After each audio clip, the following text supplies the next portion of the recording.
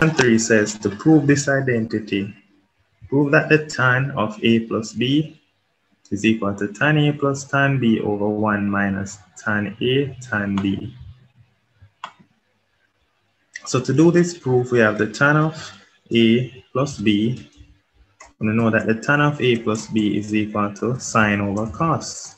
So it's going to be equal to the sine of a plus b divided by the cos of a plus b.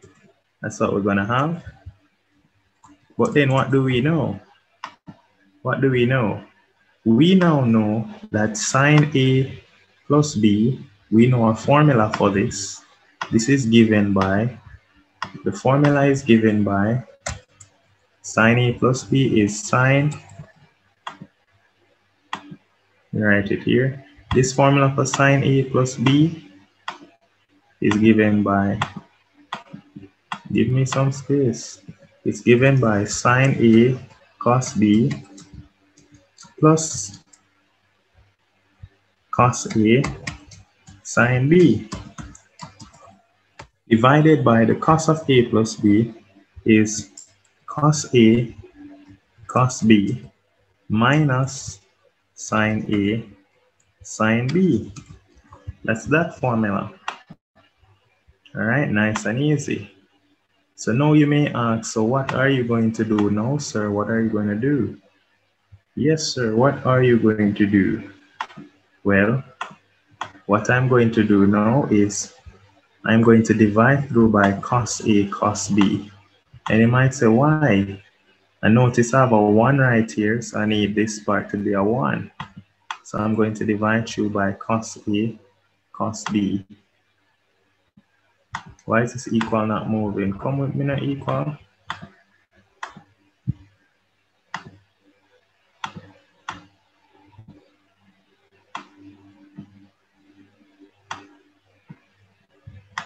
Not getting the equal to move, so let me put another equal here. Yeah, man. So I'm going to divide through by cos A cos B. I'm going to divide each term. So now I'm going to divide both the numerator and the denominator by cos A cos B.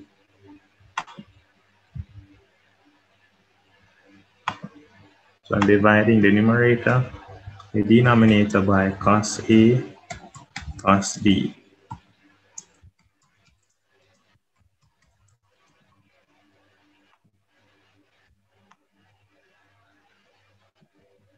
I know it looks like a minus, but it is a divide. So now, when I do the division, sine A cos B over cos A cos B, sine A, let me write it out, we will see it better. We're going to get sine A cos B. That part is divided by cos A cos B Then we have a minus.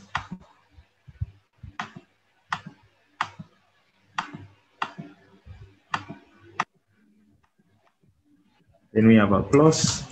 This part now, which is cos A sine B.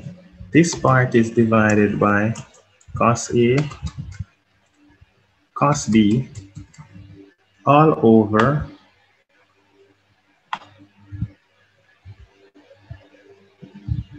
So in the numerator, that's the division for the numerator. Now we're going to look at the division for the denominator. The division for the denominator will be cos A cos B over cos A cos B. Nice. And then of course, we have a minus a sine A sine B over a cos A cos B. When you do that division now, what are we going to get? Let's work it out now. As we can clearly see right here, cos B cancels a cos B, cos A cancels a cos A, cos AB cancels cos AB, and now what you get is sine A over cos A is tan A. So that's how you get tan A. right there plus sine b over cos b is tan b. So that's why you get a tan b right there. Then this is all being divided by this part cancel each other to just get one. Then you get minus sine A over cos A is tan A and sine B over cos B is tan B. So that's how you get tan A, tan B. Nice and easy, soft. Nice. That takes care of this. Part two. Part two says, given that sine A is 3 over 5, where A is acute and angle B is obtuse, find an expression for tan A plus B. I would just go ahead and work it out, but because them say obtuse, they throw me off. So I, I have to put a like a little diagram right here. And I'm going to just put a triangle in the second quadrant. You have the angle B. And they say cos B is minus 1 over 2. So it is minus 1 because it's in the second quadrant. The hypotenuse is 2. And so we need to find this length. This length will be 2 square 2 square minus 2 square minus minus 1 square square rooted and so this is the square root of 3 all right? That is for this triangle. That's for the triangle with b. All right? All right. Now the one in in the first quadrant no need to check. Let us tell us that we have a triangle. Hypotenuse is 5 opposite is 3 so adjacent is 4 angle is a. So we have a two triangle them now. And express tan a plus tan b in this form. Now first thing is we're going to write down the formula. Tan a plus tan b. We just prove it a while ago that it's tan a plus tan b over 1 minus tan a tan b. So tan a plus tan b is equal to tan a plus tan b. Tan a plus tan b over 1 minus tan a tan b over 1 minus tan a tan b.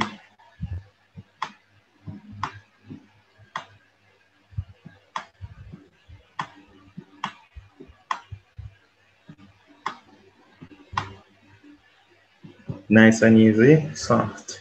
So now one minus that, so let's go ahead. Tan A now, looking in this triangle, tan A is going to be opposite over adjacent. So tan A is 3 over 4 plus tan B, tan B is opposite root 3 over adjacent. So it's plus minus root 3 over 1 minus tan A tan B. So it's over 1 minus tan A times tan B is root 1 minus root 3 over 4. And they want it in this form. Oh gosh, we're going to have to rationalize. so they're giving us a module 1 concept in module 2. So we're going to have to rationalize. So 1 minus this, first and foremost, I'm just going to write it as, I'm going to join it as 1. Instead of saying 1 minus that, I'm going to say 4 minus 3 root 3 over 4.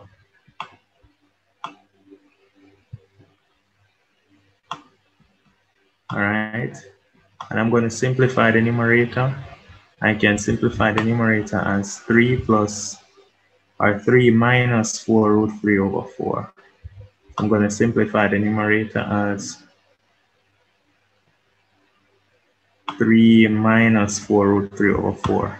Simplifying it, joining it as one fraction.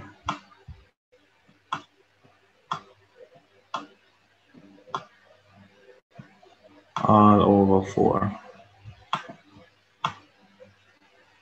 Now, how does this simplify now?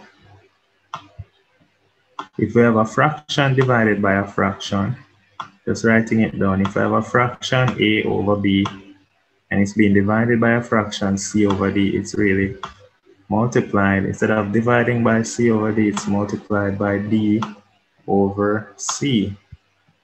So it's going to be this times this over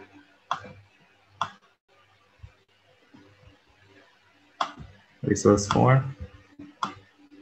So all of this is going to be simplifying to be a times d. So it's going to be 4 times this. 4 times 3 is 12 minus 4 times 4 is 16. It's 4 minus 16 root 3 over this times this, which is 16 minus 12 root 3.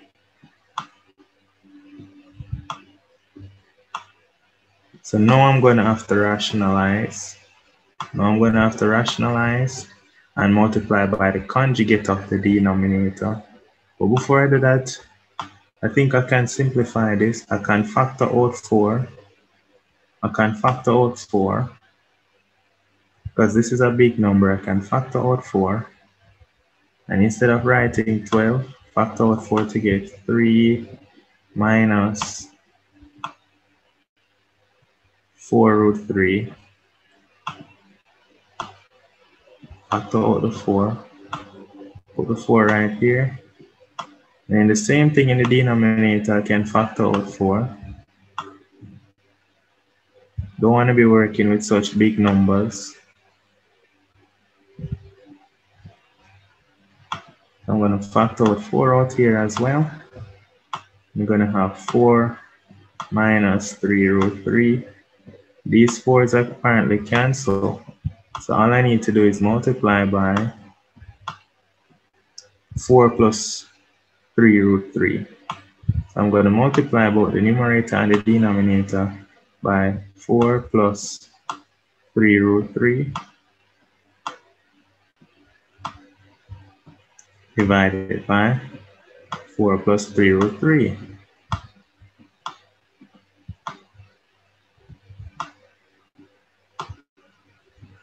So when I multiply them across, what I'm going to be getting is 3 times 4, that's 12. This times this is 3, that's 9, that's 9 root 3. Then this will be minus 16 root 3. So 9 root 3 minus 16 root 3 is minus 7 root 3. And then I have minus 4 times minus 3 is minus 12 and root 3 times root 3 is 3.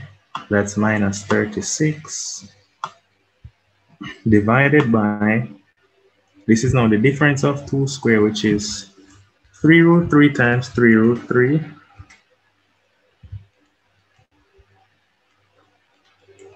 That's 27. And 4 square is 16. So 16 minus 27 is minus 11. So in the denominator of negative 11. So now to express it in the form that they want, it's going to be 12 minus 36. 12 minus 36 is negative 24 over negative 11 minus 7 root 3 over negative 11.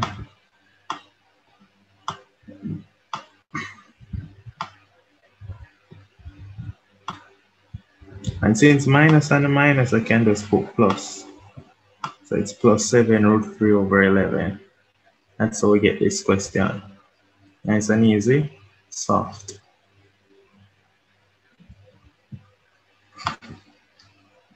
Next part. It says solve this equation.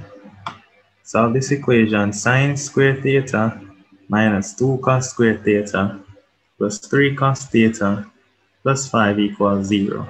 To solve this equation, we have to change sine square to 1 minus cos square. So sine square theta is really 1 minus cos square. So change sine square to 1 minus cos square theta plus. So we have 1 minus cos square theta minus 2 cos square theta. So 1 minus 1 minus cos square minus 2 cos square really becomes 1 minus 3 cos square theta plus 3 cos theta plus 5 equals 0. Good. All right, that's what we have. So now we're to bring everything to the other side. 1 plus 5 is 6. Bringing it over, we're to get 3 cos square theta. I know you see minus sign there, but I'm to bring everything over to the other side to get 3 cos square theta minus 3 cos theta because I divide through by negative 1 or bring it to the other side any way you want to look at it. And then 1 plus 5 is 6, so it's going to become minus 6. All I did was divide through by negative 1 equals 0. So let me put what I did to get the positive 3. I divided through by negative 1. Now after I divide through by negative 1, I'm going to do another division. I'm going to divide through by 3. So now I'm going to divide through by 3 to get cos square theta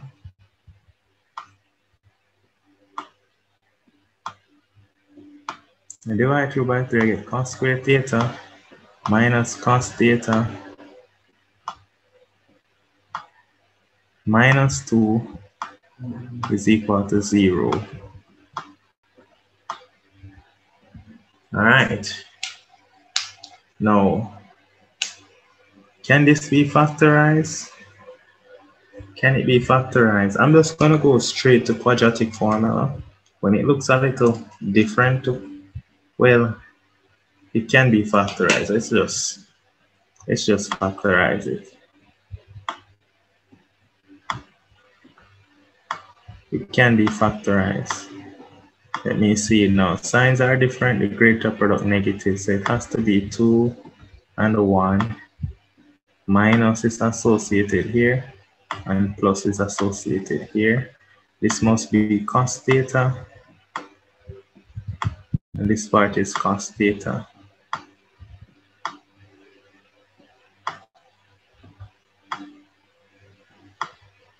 Nice. And so now, really and truly, this part won't have any solution. And so therefore, we only need to look at the part that is going to give us that cos theta is minus 1. Because this part won't be giving us any solution. We don't need to check that, that part has no solution because cos theta can't equal to. So cos theta being equal to negative 1, we draw our circle and we want where cos is negative. Cos is positive, C-A-S-T. Cos is positive here and here. So we want the solution in the second and third quadrant. So first we find out the principal acute angle, which is cos inverse of 1 cos inverse of 1. When you find cos inverse of 1, that will give you the principal acute angle. Cos inverse of 1 is 0. And so the angle over here is pi minus 0, which is pi. And the angle here is pi plus 0, which is also pi. All right, the cos of cos of pi is minus 1, yes. But look at this, it says it wants theta to be between 0 and 4, 4 pi. So can go around the circle four times. So what we're going to get then is theta can be equal to pi. Going around the circle one more time, you can also get theta is 2 pi That makes sense. Theta can be 2 pi. 2 pi.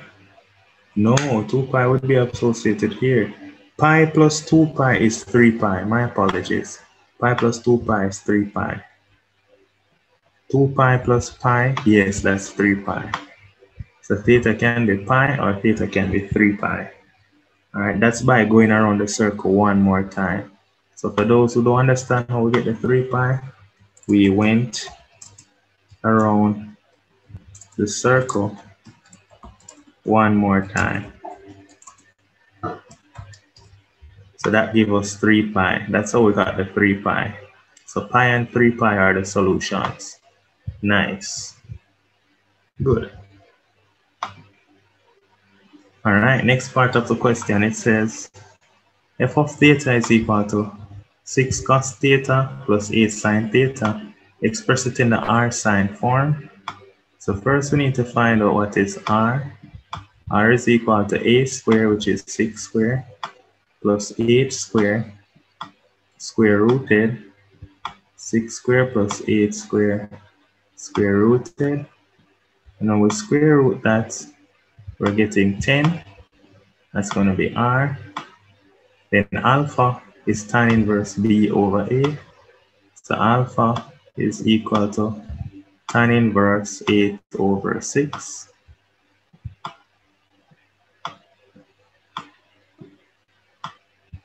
Alpha is equal to tan inverse 8 over 6. Alpha is tan inverse 8 over 6, so 8 divided by 6 we find tan inverse of that at 0 0.927. 0 0.927. That's alpha. 0 0.927. All right, now that we have that for alpha, now we can express f of f of theta in that form. So it's going to now be f of theta, f of theta is now equal to 10 sine is equal to 10 sine theta plus alpha. So it's 10 sine theta plus 0 0.927. Nice and easy, soft. Now that we finish this question, Moving right along, part two. Part two say hence or otherwise find the general solution of f of 2, f of theta equal to. Hence mean you set this equation equal to 2. So we're going to set 10 times the sine of theta plus 0 0.927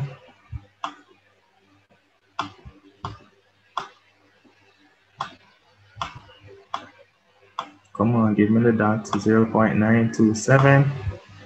We're going to set this equal to 2. So setting this equal to 2, first thing we do is divide through by 10.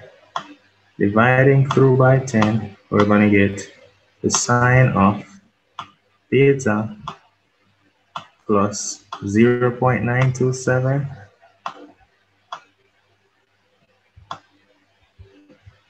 is equal to 2 over 10 and 2 over 10 is really 1 over 5 because I divided 2 by 10. So now what you're going to do is remember one general solution. All right, so first thing you do is find sine inverse of this. So you're getting that theta plus 0 point 0 0.927 it's equal to sine inverse of 1 over 5.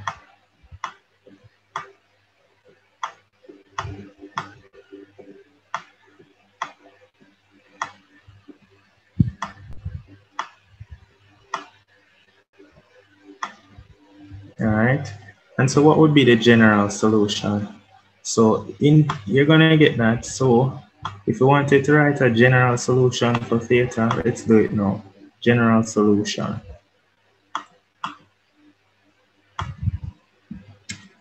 general solution. So the general solution, as you know, there's going to be two values, two values. So the general solution is going to be theta is equal to sine inverse of this minus this. So general solution is theta is sine inverse of 1 over 5 plus 0 0.927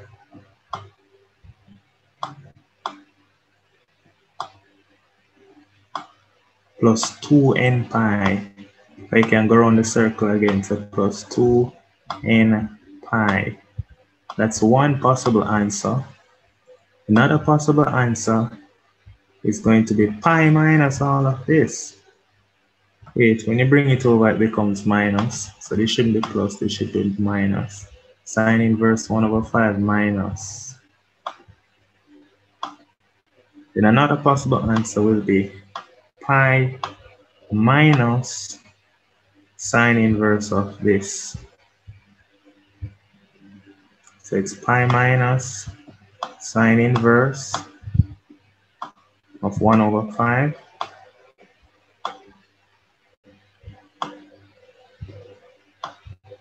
minus 0.927 need to put a bracket to show that you work out the pi minus this first. Plus 2n pi. That's the general solution. Many persons may want to write like an actual number. So I don't know depending on how you feel maybe you like to write actual numbers. So you can go ahead and say sine inverse 1 over 5 minus 0 0.927 and get negative something. So you have theta is negative. So maybe you feel good by writing down here. I don't know, it does depend on you. Some persons might feel prefer better to write minus 0 0.7 2 5 plus 2 plus 2n pi and some persons might feel better to write or pi minus that now which is pi minus sine inverse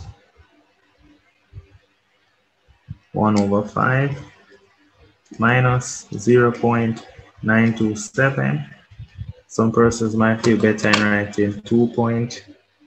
013 plus 2n pi, depending on how you prefer write your answer. All right, so those are also possible solutions for theta. It's the same thing. This and this is the same thing. All I did was put the numbers there. All right, so any way you prefer to write it, you're fine. I prefer leave it this way, exact. Okay, Moving right along. We reach question four. Question four says the circle with equation x squared plus y squared minus 4x plus 2y minus 2 equals 0 and C2 have a common center given that C2 passes through minus 1 minus 2 express C2 in the form this.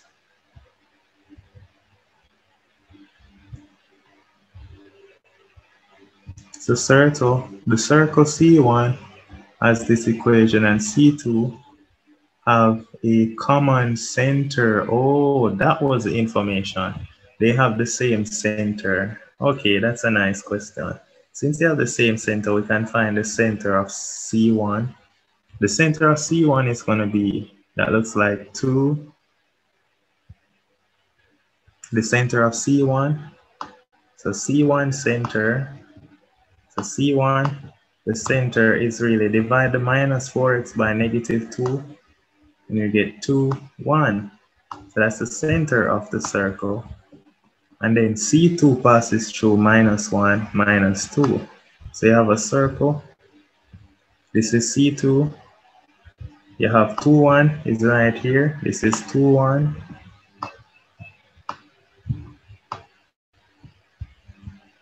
Sorry. 2, 1 is the center of C2. I don't know why I put the point on the edge. You have this point right here. Let me label it on the outside, which is 2, 1.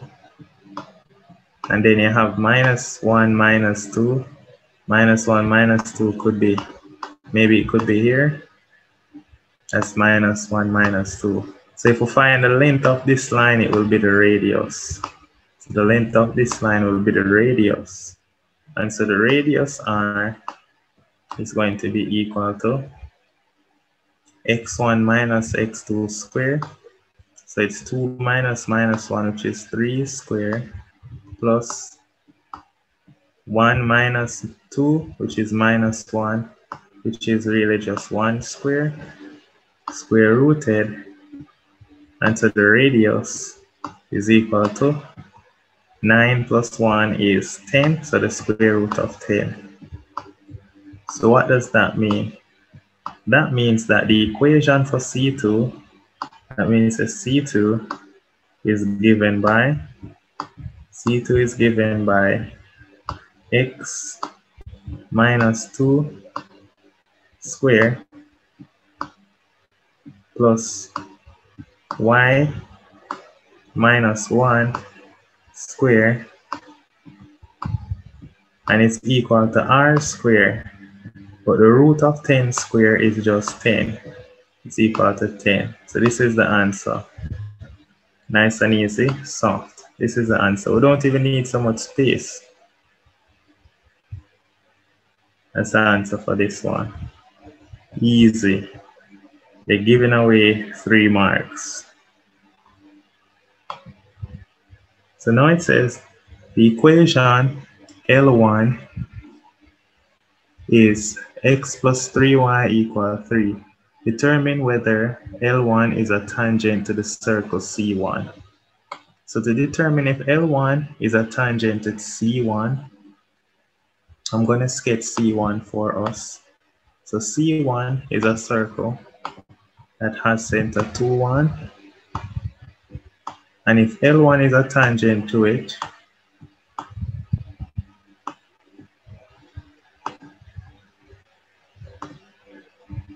if L1 is a tangent to C1, that means that, why I keep jumping, that means it only touches the circle at one point. So maybe it touches it somewhere there at one point. All right, so this would be L1 we would have to touch the curve at one point. So there's, there should only be one point of intersection. So the equation of C1 is x squared plus y squared minus 4x plus 2y minus 2 equals 0. Let's write that down. We're going to solve them simultaneously, and we should only get one point of intersection. So the curve had equation, let's write it down. It was x squared plus y squared minus 4x minus 2y minus 2 equals 0. Let's check that again. Yep, so that was it. All right. Now,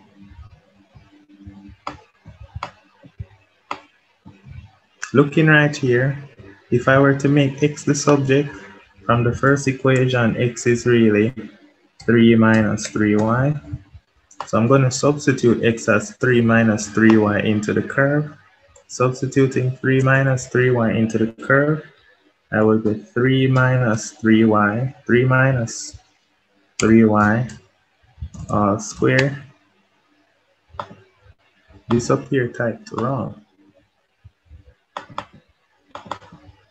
I want to fix this.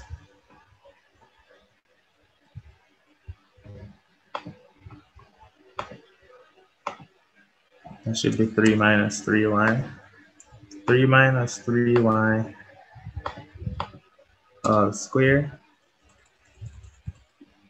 plus y square plus y square minus 4 times x where x is 3 minus 3y minus 2y minus 2 equals 0. Now let's see. Let's go ahead and solve this equation to see if we get only one point of intersection. Now going ahead and solving this, it's first term square, which is 9, minus twice the product of the two. 3 times 3 is 9, 9 times 2 is 18, so that's minus 18y. Plus second term square is 9y squared.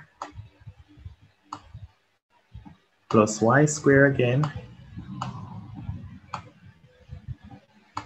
Then we have minus 4 times 3 is negative 12. Then we have minus 4 times minus 3y minus and minus give us plus.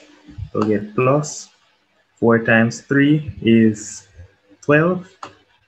We get 12y minus 2y minus 2 and this is equal to 0.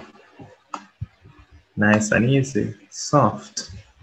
So since that's what we're getting now, all we need to do now is add up our like terms, 9y squared, and y squared is 10y squared.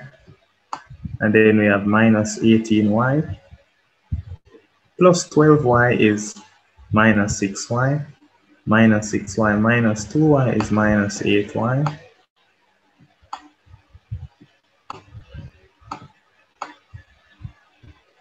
And then we have 9 minus 12 is negative 3. Negative 3 minus 2 is negative 5. So we have 10y squared minus 8y minus 5 equal to 0. No. Whoa, this can't factorize, can it? Can I factorize it easy? When I can't factorize it easy, I'll just go to quadratic formula. So y is equal to minus 8, which is 8, plus or minus the square root of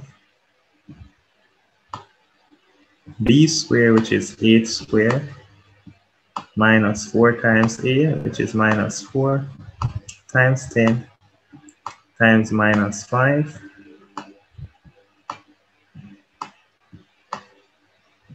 over 2 times a, over 2 times 10, which is 20. So I'm getting that y is equal to, when I work out that square root, you're going to get that 8 squared minus 4 times 10 times minus 5. That's 264. And the square root of 264. I don't even need to work it out. I can stop. So I'm getting 8 plus or minus the square root of 264 over 20. So what does this mean? This means I'm getting two point of intersection. So I can stop right here and say, since the discriminant, the discriminant which is equal to 264 which is greater than zero, we are getting two points of intersection. And so the line, the line is not a tangent line. It's not a tangent. It is actually a secant line. It's a secant line. It's, a, it's just a regular line that pass through the circle. That's all. So maybe the line looks something like this. If I were to click on the line, the line just looks something like this. Right, it just pass through two points. Just a secant line. Nice. Moving right along vectors. It says now, express the vector pq in the form xi plus yj plus zk. So first thing, vector pq is equal to vector of the last minus vector of the first. So some CSEC here, some CSEC Add Math. So it's OQ minus OP OQ minus OP. OQ minus OP, that's going to be equal to vector OQ is 1 minus 2, 4. That's vector OQ minus vector OP. Vector OP is 3, 1, 2. We do the subtraction. What we're going to get is 1 minus 3 is minus 2. So get minus 2i. Minus 2 minus 1 is minus 3j. 4 minus 2 is plus 2k. That's vector PQ. Nice and easy, soft.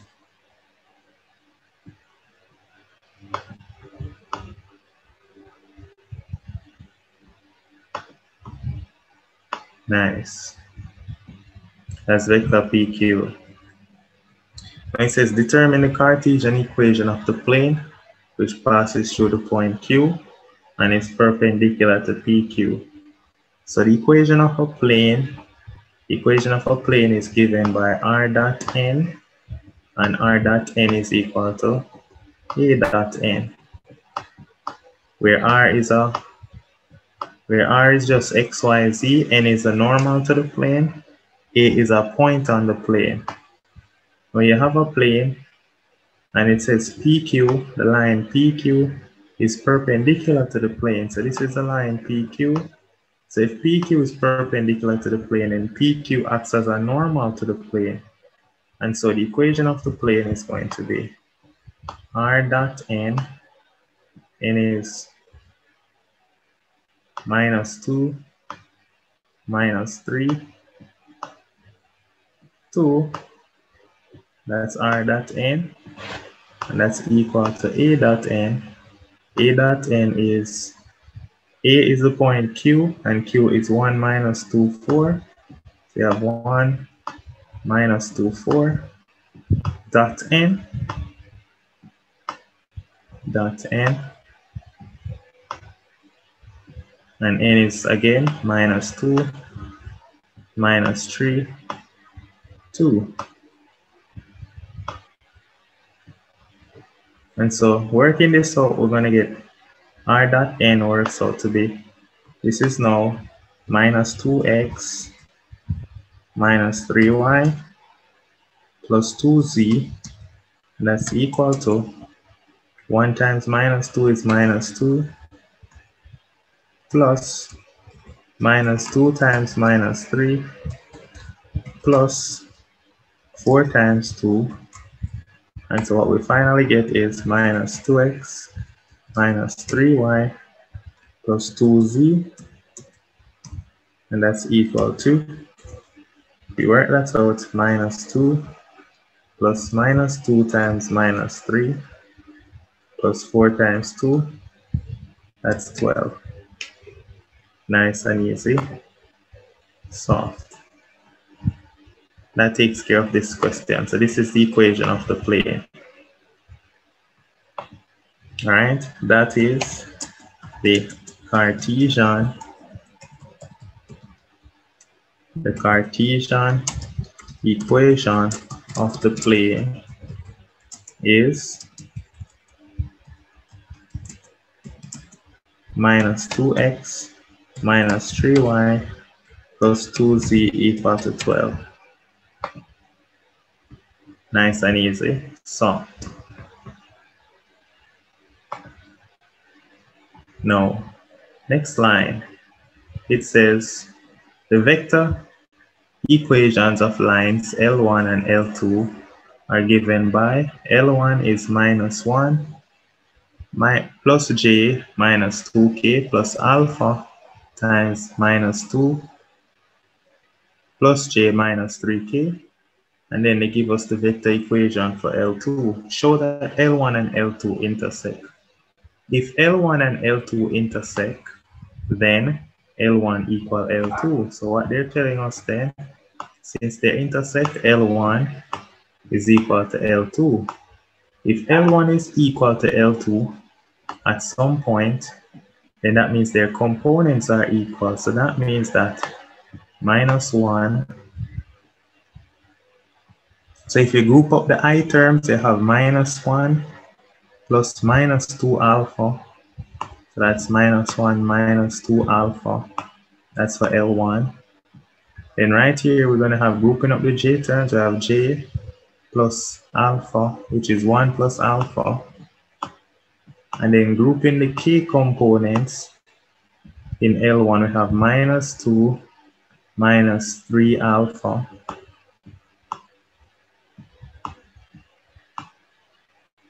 And that's grouping the that's grouping the k components for L1. Going to have a look at L2. L2 is minus 2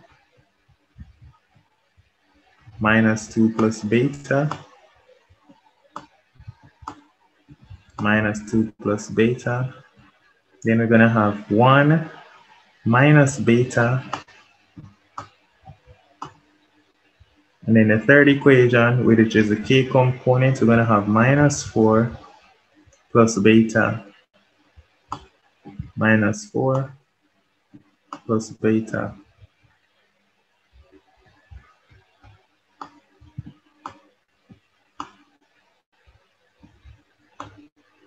Nice and easy, soft. Now, after we do this now, all we need to do is equate the I components for both lines, the J components for both lines, and the K components for both lines, and it should work out. So let's compare I components. So comparing I components, we're getting that minus 1 minus 2 alpha. I'm going to call alpha A in this case. And that's equal to minus 2 plus beta. I'm going to call beta B. So if I were to bring over this 2 over here, really and truly I'm getting add 2 to both sides. I am getting minus 1 plus 2 is 1. So I'm getting 1 minus 2 alpha is equal to beta. That's comparing the I components. Now let's compare the J components. So looking at the J components, comparing the J components, I can see that 1 plus alpha, 1 plus alpha is equal to 1 minus beta. But then what we said was beta. We said beta was 1 minus 2 alpha. So that means 1 plus alpha is equal to 1 minus beta, which is 1 minus 2 alpha, because that is beta. So solving them, we're getting 1 plus alpha is equal to 1 minus 1 gone, minus and minus give you plus, so you get 2 alpha. So bringing over alpha here, we're getting that alpha equals 1. If alpha is equal to 1, going back to over here, if alpha is equal to 1, going back to over here, then that means that 1 minus 2 times 1 is equal to beta. And so beta is equal to 1 minus 2 times minus 1 is 1 minus 2, that's negative 1. So alpha is 1 and beta is negative 1. All you need to do is check it in the k component. So check in K component. So we're going to check to see if it is true in the K component. In the K component, we're getting minus 2, minus 2 minus 3 times alpha, and alpha is 1. We need to check to see if that is equal to the other side, which is minus 4, plus beta, which is plus beta, which is minus 1. So checking the first one, going up here, we see that minus 2 minus 3 times 1 is negative 5. And then we see minus 4 plus minus 1 is negative 5. And so yes, so yes, the two lines, the two lines intersect, the two lines intersect and they do so when alpha is equal to 1 and beta is equal to negative 1. Good. So we'll get them there. We're nice. Next part. It says, hence, determine the coordinates of the point of intersection. So at the point of intersection, alpha and beta equal 1 and minus 1 respectively. So using L2, using L2, using line 2, using line 2, where beta equal, what was beta, minus 1? So I'm going to use L2. So L2, which is minus 2 minus beta one minus beta and around here is minus 4 plus beta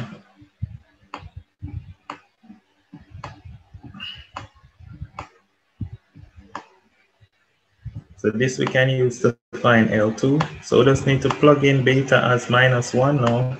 So we can get that. Plug in minus 1, minus 2, minus minus 1. That's negative 1. Plug in minus 1 here. 1 minus minus 1 is, I think that's 2. 1 minus minus 1, that's 2. And then minus 4 plus minus 1 is negative 5. So the point of intersection is minus 1, 2, 5. So point of intersection is minus 1, 2, minus 5. That's the point of intersection. Now we can check it around here. You can also check it when alpha is 1, you get, when alpha is 1, you have minus 1, minus 2 times 1.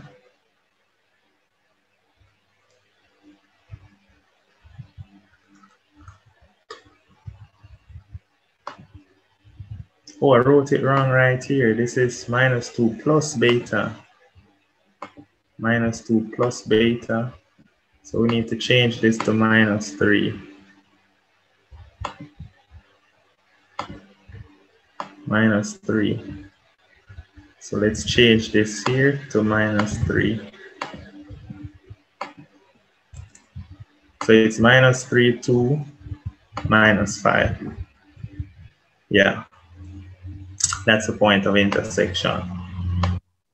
Moving right along, we finally